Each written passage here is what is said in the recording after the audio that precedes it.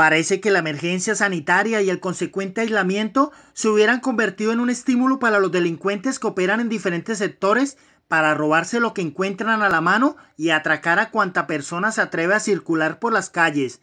Lo más grave es que las quejas que se han instaurado no han surtido ningún efecto. Hemos pasado oficios al coronel, le hemos hecho un llamado de atención a la Secretaría de Gobierno, pero seguimos siendo objetos de la delincuencia realmente de día de noche, atracos en moto.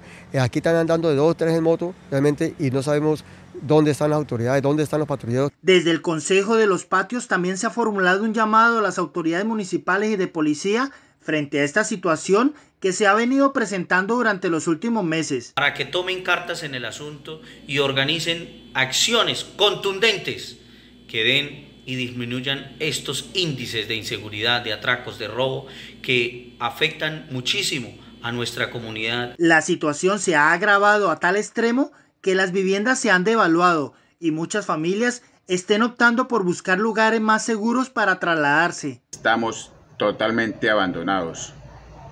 Necesitamos mucha seguridad, mucha seguridad, porque la verdad las personas ya no hayan que hacer, ya están vendiendo las viviendas, algunos ya se quieren ir para otros sectores. Muchas personas que han sido víctimas de atraco o que advierten situaciones irregulares han pretendido utilizar la plataforma denunciar, que se abrió con ese fin, pero les ha resultado imposible lograr que las atiendan. Se calcula que el monto de los robos cometidos en los últimos días superan los 40 millones de pesos.